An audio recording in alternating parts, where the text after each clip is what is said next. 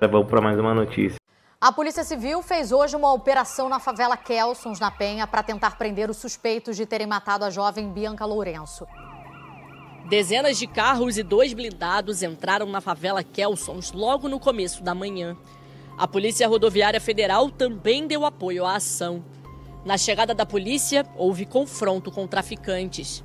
O objetivo era cumprir mandados de prisão contra Dalton Vieira Santana, um dos chefes do tráfico na comunidade, e Edgar Alves de Andrade, o DOCA. Os dois são suspeitos de matar Bianca Lourenço, de 24 anos. O corpo da jovem foi encontrado por seguranças da UFRJ no dia 12 de janeiro, esquartejado dentro de um tonel na Baía de Guanabara. A identidade foi confirmada pelos peritos da Polícia Civil depois do exame de duas impressões digitais. Bianca desapareceu no começo do ano, no dia 3. Em dezembro, ela tinha terminado o namoro com Dalton Santana.